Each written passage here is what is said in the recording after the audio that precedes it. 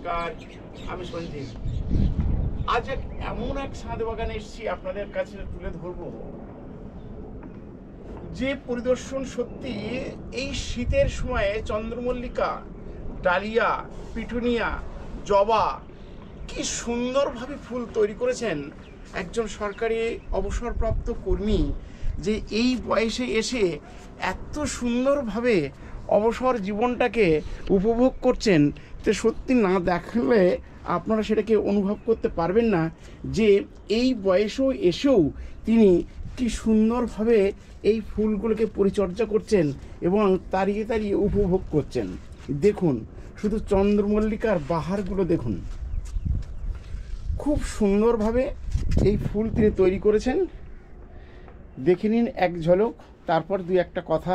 নিশ্চয়ই আপনি শুনবেন আপনারা কীভাবে এই গাছগুলোকে তিনি পরিচর্যা করছেন এবং কখন তিনি লাগিয়েছেন এবং কি ধরনের জাত তিনি কালেকশন করছেন, সেই বিষয় নিয়ে দুই একটা কথা কিন্তু আপনাদের সামনে বলবেন যে কীভাবে এই গাছ লাগালে এত সুন্দর ফুল পাওয়া যেতে পারে। দেখুন, এই শীতের সময় জবা গাছেও কিন্তু কত চমৎকার কিন্তু জবা কিন্তু ফুটছে, সেটা গাছ দেখেই আপনি ওরকম অনুভব করতে পারছেন। ফুলের কালারগুলো দেখেছেন? অসাধারণ অসাধারণ কিন্তু জবার কালার। প্রত্যেকটা ফুল কিন্তু খুব একদম চমক লাগানো। অসাধারণ ফুল, জবা। এবং প্রত্যেকটা গাছ, এর ফলে চন্দ্রমল্লিকার যে বল, চন্দ্রমল্লিকা সেগুলো কিন্তু শেষের পথে এবং শুধু তাই নয়, এর সাথেও কিন্তু ফল গাছও রয়েছে। কুল গাছে দেখুন, কুল ধরে একদম কিন্তু ঝাঁকিয়ে আছে। এছাড়াও কিন্তু কুল খাওয়াও হয়ে গেছে এখন প্রায় শেষের পথে। এছাড়াও রয়েছে অন্যান্য ফুল গাছ, পেয়ারা গাছ, লঙ্কা গাছ এবং ডালিয়া এক মাথার থেকে শুরু করেছে প্রায় পঞ্চাশ থেকে সত্তরখানা টব বোধহয় ডালিয়ার গাছ এখানে রয়ে গেছে, যেটা এখনও ঠিক মতোভাবে কিন্তু কুঁড়ি আসেনি। হয়তো আসতে একটু লেট করছে। তবে আর কিছু দিনের মধ্যেই কিন্তু আমরা ডালিয়া ফুল কিন্তু পেয়ে যাব। এছাড়াও কিন্তু ঝুলছে টমেটো। এছাড়া যে নাক চম্পা প্রচুর পরিমাণে নাক চম্পা দাদা লাগিয়েছেন এখানে। দাদা এত নাক চম্পা কেন লাগিয়েছেন কেন এখানটায়? যত্ন করতে হয় না অটোমেটিকই বিনা তদবিরে হয়ে যায়। আর একে আর অপসারণ করিনি রেখে দিয়েছি পুজোর। পিটুনিয়া দেখুন। অসাধারণভাবে পিটুনিয়াগুলোকে তিনি রেখেছেন সুতো দিয়ে এবং ছোট্ট ছোট্ট কাঠি দিয়ে বেঁধে রেখেছেন দারুণ ধরনের। দারুণভাবে কিন্তু আজকে পিটুনিয়া এখানে ফুটতে শুরু করেছেন। নমস্কার দাদা কেমন আছেন আপনি? ভগবত ইচ্ছা চলে যাচ্ছে। হ্যাঁ। আচ্ছা আপনার এই বয়সে এত সুন্দর ফুল গাছ আপনি বানিয়েছেন এটা মানে কি বরাবরই ছিল না আজ শুরু করেছেন? ফুলের নেশাটা ছিল আগে থেকেই ছিল ফুলের নেশা। আচ্ছা। কিন্তু ইদানিং একটু সময়টা বেশি পাচ্ছি।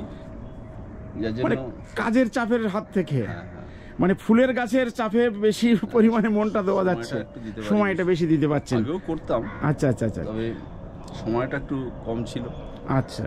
আচ্ছা এই যে ফুল আপনি চন্দ্রমল্লিকা লাগিয়েছেন বিভিন্ন ভ্যারাইটিস এইটা কবে লাগিয়েছেন? কীরকম সময় লাগালে এই রকম ফুল পাওয়া যেতে পারে? অ্যাকচুয়ালি নিয়ম হচ্ছে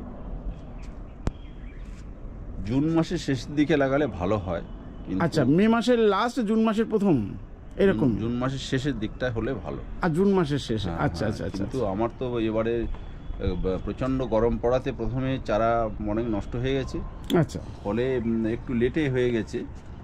এটা এই অগস্ট মাস নাগাদ আমি লাগিয়েছি। আচ্ছা। হ্যাঁ তার মধ্যে যেটুকু করা গেছে।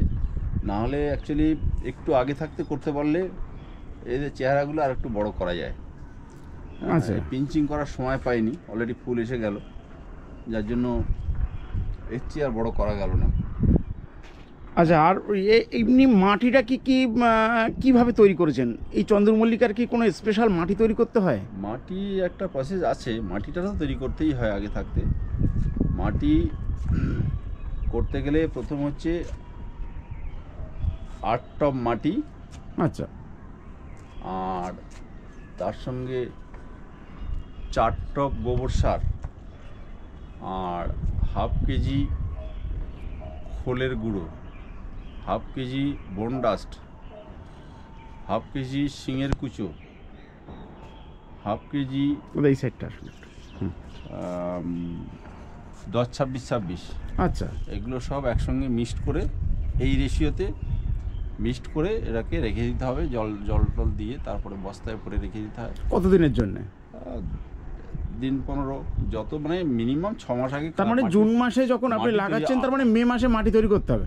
মিনিমাম মাটিটা হচ্ছে মেইন হ্যাঁ হ্যাঁ। ছ মাস আগে মাটি তৈরি করতে পারলে সবচেয়ে ভালো। আচ্ছা। কিন্তু সময় সবসময় সময় হয়ে ওঠে না। অন্তত পনেরো দিন ওই মাটিটাকে ওই জলে ছিটে ছিটে দিয়ে এ করে বস্তায় ভরে রাখতে হবে। তারপর ওটাকে আবার রৌদ্রে দিয়ে মাটিটাকে শুকনো করে আবার আর একবার একটু জলে ছিটে ছিটে দিয়ে এইভাবে মোটামুটি প্রায় এক দেড় মাস ধরে মাটিটাকে তৈরি করতে হয় ভালো করে। আচ্ছা। করে নিয়ে তারপরে প্লেন মাটিতে চারা লাগাতে হয়। ছোটো চারাগুলো প্লেন মাটিতে ছোটো টবে তিন ইঞ্চি টবে প্রথম। মানে ওই মাটিতে নয়? না।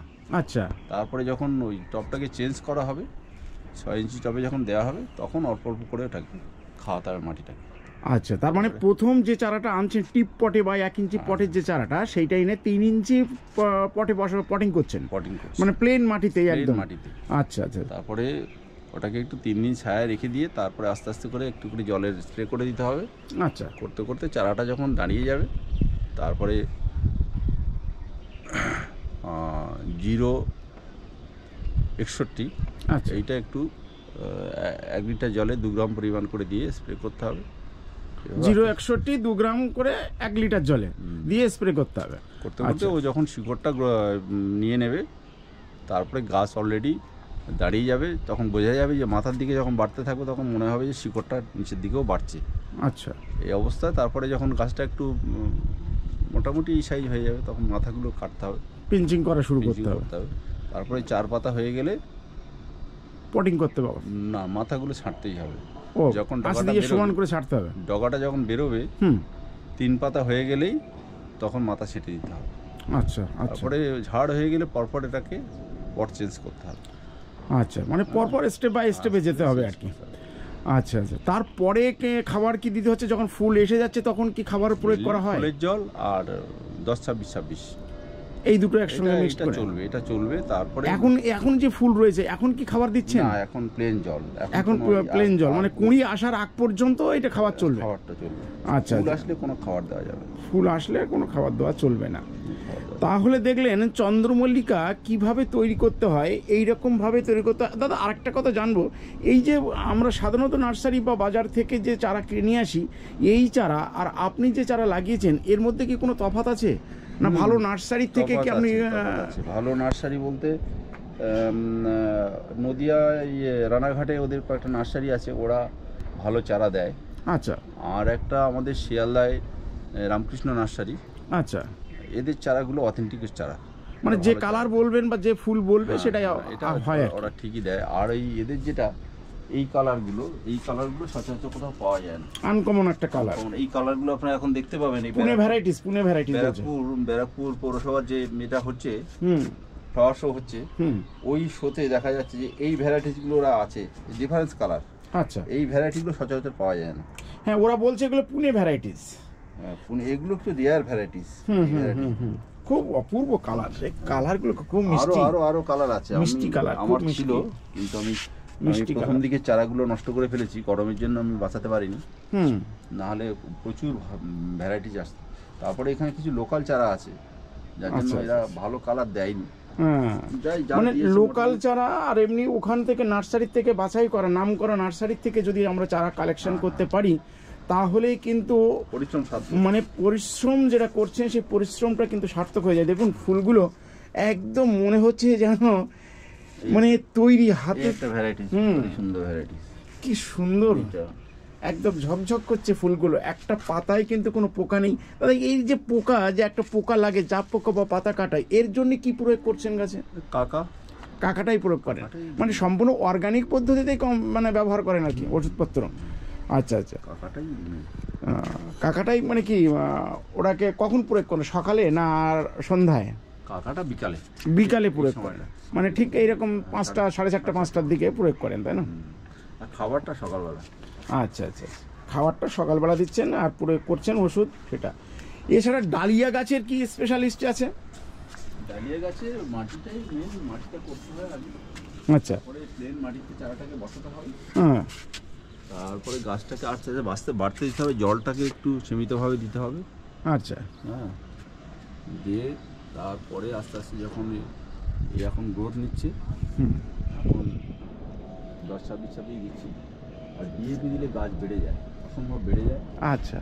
ফুল হয় কিন্তু আচ্ছা দাদা আপনার নামটা কি বলুন আর এটা কোথায় আমরা এই দেখছি? আমার নাম গৌরপদ রায়। এটা হচ্ছে আমাদের গড়িয়া স্টেশন গড়িয়া। এটা জায়গাটার নাম হচ্ছে Dhalua west. Dhalua west Garia. Station Garia Dhalua west Srinagar থেকে ভিতরে একটু ঢালুয়া নামক জায়গায় দাদার এখানে বাড়ি এবং চারিপাশে নিশ্চয়ই দেখতে পাচ্ছেন অজস্র শুধু বাড়ি ফ্ল্যাট উঠে রয়েছে কি দারুণ দেখার মতো। এছাড়া পিটুনিয়াগুলো আচ্ছা পিটুনিয়ার মাটি আর চন্দ্রমল্লিকার মাটি বা ডালিয়ার মাটি একই মাটি না কোনো পৃথক কোনো কিছু প্রয়োগ করছেন? প্রায় জন্য একটু ডিফারেন্স মাটি করলে ভালো হয়। কীরকম? ভার্মি কম্পোস্ট অথবা ভার্মি কম্পোস্টের সঙ্গে একটু কোকোপিট আচ্ছা। একটু বালি আচ্ছা। এগুলো সম পরিমাণে দিয়ে মাটিটাকে তৈরি করতে হবে আচ্ছা মানে কোকোপিট বালি বা এগুলো ভার্মি কম্পোস্ট দিয়ে করলে আরও ভালো হয়। আচ্ছা আচ্ছা। মাটি অল্প পরিমাণে। আচ্ছা মাটিটাও অল্প। হালকা হয় তত ভালো মাটি। আচ্ছা আচ্ছা। দিয়ে এবার চারাটাকে বসিয়ে দিয়ে আস্তে আস্তে চারাটাকে ধরিয়ে নিতে হবে। নিয়ে তারপরে যেমন হয় খোলের জল। আর দশ ছাব্বিশ ছাব্বিশ দিচ্ছি আমি আর অন্য কিছুই দিই না। খোলের জল আর দশটা পিস এখন কি ফুল এসে গেছে? এখন কি কিছুই দেওয়া চলবে না। এখন খালি জল? জল। এখন খালি জল প্রয়োগ করা হচ্ছে। দেওয়া যায় যখন ফুলটা কমে যাবে তখন ওই ইয়ে দিতে হবে একটু খোলের জল। হুম। আর একটু উম, দশ ছাব্বিশ ছাব্বিশ দিলে তখন কালারটা ফেড হয়ে যায়। এখন রাসায়নিক সার দিলেই কালার ফেড হয়ে যাবে। হুম। যার জন্য মানে সর্ষের খোলের জলটাই বেস্ট হ্যাঁ, ওর যা খাবার আছে ও এখন দীর্ঘদিন চলবে।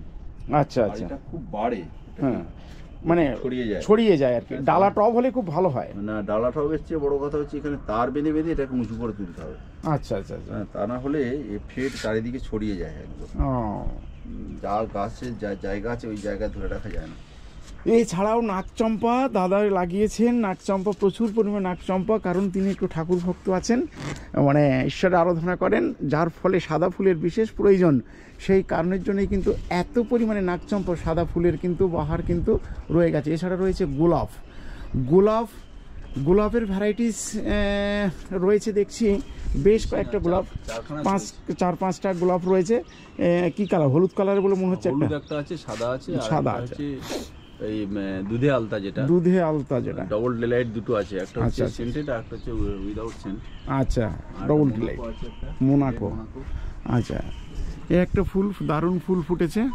আজ পেয়ারা গাছ কি পেয়ারা জাতের এটা? এটা দেশি পেয়ারা কি জানি না দিয়েছে আমি ফল ধরছে কি? ফল এখন আসেনি। আচ্ছা ড্রাগনও লাগিয়েছেন একটা দেখছি। তিনখানা আছে। তিনখানা আছে। ড্রাগন ধরেছে কি? এই এই- এই দিকেটা ওইদিকে আর ওই দিকে ড্রাগন ধরেছে? না এখন আসেনি আচ্ছা আচ্ছা আচ্ছা আচ্ছা। কত স্কোয়ার ফুট ছাদ আপনার এটা? এটা খুব বেশি হলে সাড়ে পাঁচশো হবে। সাড়ে পাঁচশো স্কোয়ার ফুট এক ছোট্ট ছাদে সুন্দরভাবে সাজিয়ে গুছিয়ে ঝকঝকে পরিষ্কার তক্তকে একটা ছাদ গাছে গাছে এবং ফুলে ফুলে পরিপূর্ণ। এটা কুল জানি না তবে মিষ্টি কুল এটুকু জানি। আচ্ছা আচ্ছা আচ্ছা। দাদা কুল দিলেন খেয়ে দেখা যাক। হুম বাহ। নাম জানেন না, কিন্তু কুলটা খুব সুন্দর, মিষ্টি টেস্টি আছে। তাহলে আমরা বাগানে, ছাদ বাগানে শুধু ফুল নয়, ফুলের সাথে সাথে দু চারটে যদি ফল গাছ আমরা লাগাতে পারি তাহলে কিন্তু ফলের স্বাদ কিন্তু আমরা উপভোগ করতে পারি। ওদিকে একটা জামরুল গাছও দাদা লাগিয়েছেন। তাহলে বিভিন্ন ধরনের গাছ কিন্তু রয়েছে, নিম গাছও রয়েছে দেখছি। এবং সেই সাথে রয়েছে লেবু গাছ। লেবু গাছ এটা পাতিলেবু? ও, পাতিলেবু। এটা মুসাম্বি। এধারে জামরুল আর এধারে বেদানা। বেদানা অনেক হয়েছিল চারটে হয়েছে। আচ্ছা আচ্ছা আচ্ছা। কি জাতের? এটা হচ্ছে ওই এটা ওই মহারাষ্ট্রে কি যেন একটা জায়গা। আচ্ছা যাই হোক আপনারা গাছ, চন্দ্রমল্লিকার গাছ আগামীবারে এবারে যারা ঠিকমতোভাবে তৈরি করতে পারেননি আগামীবারে সুন্দরভাবেই তারা কিন্তু এই চন্দ্রমল্লিকার গাছ বা অন্যান্য গাছ পরিচর্যা বা গাছ কোথার থেকে কিনতে হবে, চারা কিনতে হবে, সে বিষয়ে লক্ষ্য রেখে আপনারা শুরু করে দিন। এখন থেকে তোড়জোড় তাহলেই কিন্তু আগামীবারে সুন্দরভাবে কিন্তু ফুল পেতে পারবেন। আর বেশি কিছু নয়, ভালো থাকুন, সুস্থ থাকুন, দেখা হবে পরবর্তী